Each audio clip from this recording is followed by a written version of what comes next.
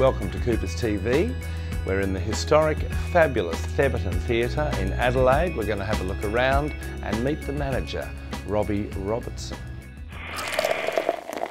Now, Robbie Robertson, you don't play guitar with the band, do no, you? No, I don't. But um, uh, the band actually played here uh, some years ago, and it's actually the first band that has demanded to meet me because when they got their venue specs and it had theatre manager Robbie Robertson, they demanded for me to come out the back and meet them. Wow, they're a legendary hmm. group in the rock and. Yeah, roll. no, it was an excellent concert. I'd like to hear about your association with this beautiful theatre. I put shows in here in the early 70s, and when I had Split Enz coming into Adelaide, I also put them in here. By then, the venue had badly run down. So I then contacted the owners of the building, and they said it was likely to be bulldozed.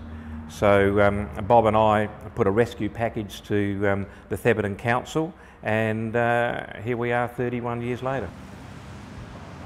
Now, over the years, you've had an incredible array of acts, internationals like Billy Joel, BB King, Duran Duran, locals uh, like Cold Chisel, Midnight Oil. Just run me through uh, some of the standout shows for you.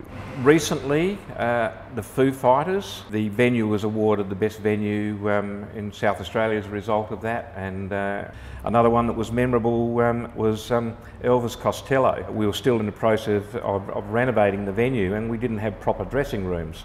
But when Elvis Costello came in, he was amazed. He said, This is fantastic. Said, It's the only venue that um, he's ever played in the world where his dressing room is a stage. He said uh, publicly that it was the best concert he'd ever done in Australia. Uh, it was scheduled to finish at 11 o'clock at night. It went through to after 1 o'clock in the morning. He just kept going.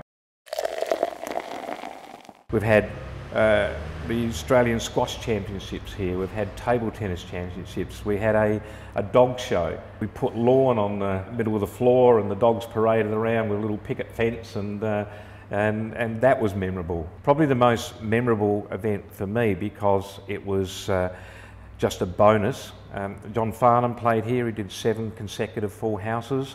And on one of the performances, the second to last performance, Stevie Wonder came to the event and uh, they went on stage and uh, sang Amazing Grace with a four part backing singers um, as a bonus to the audience and uh, yeah, a magic night.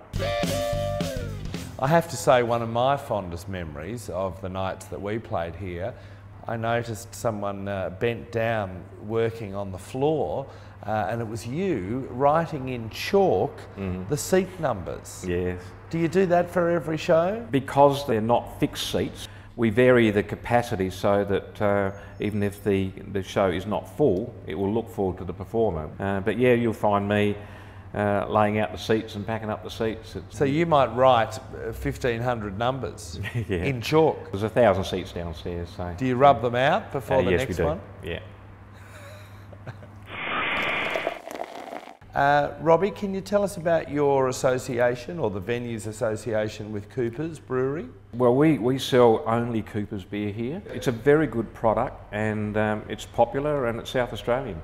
Oh, I wanted to ask you about uh, if the room has changed inside. What, what have you? It, it, it has, but we didn't want to be able to um, tell the difference between where new started and where old finished. The bottom bar wasn't there pre 1980, the main bar wasn't there pre 1980. Where we're sitting right now is the only part that is completely untouched. Just to finish off, um, top five acts. This might sound strange. The thing that I enjoy most is, is not the performers, it's the audience. Uh, I just love it when an audience just um, uh, really get into the performance, whether that performance is heavy metal or whether it's jazz or whether it's um, comedy. Uh, when, when there's a real empathy between the performer and the audience, it's Yeah. just, uh, I never get bored with that. Brilliant. Perfect way to end. Robbie, thank you so Mm-hmm. No much for your time and uh, keep up the great work with your venue. No worries. We'll be back. I'm glad of that.